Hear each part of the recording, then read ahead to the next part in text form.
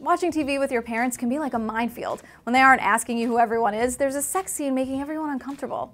Hmm, if only there were a device that allowed you to watch TV shows privately. Oh, right, HBO Go. Hey, I'm Gillian on Buzz60. HBO released seven new ads brilliantly capturing how painful it can be to watch shows like Game of Thrones and True Detective with your parents. You can only see them on HBO's YouTube and Twitter because, appropriately, they're pretty racy. But here are some examples. Sometimes parents just won't keep quiet.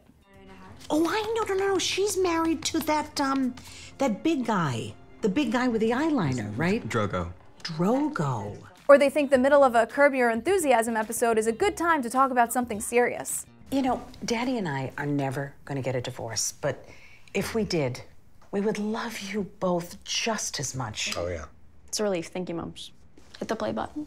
But the worst may be the fact that this mom doesn't seem the slightest bit uncomfortable watching an intense True Blood sex scene with her son in a spot called Appreciation. That is brutal. Buzz60, now you know, pass it on.